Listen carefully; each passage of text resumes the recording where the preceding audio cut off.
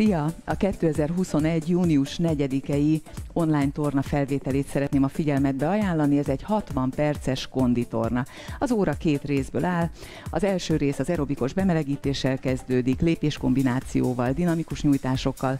Ezután egy darab kézisújzót használunk a kargyakorlathoz, majd guggolások, egyensúlygyakorlatok és törzsgyakorlatok következnek. A második félidőben a talajon helyezkedünk el, oldalon fekvésben Belső combgyakorlat és hasizomgyakorlat, hátonfekvésben farizomgyakorlat és hasizomgyakorlat vár ránk, az órát a nyújtás zárja.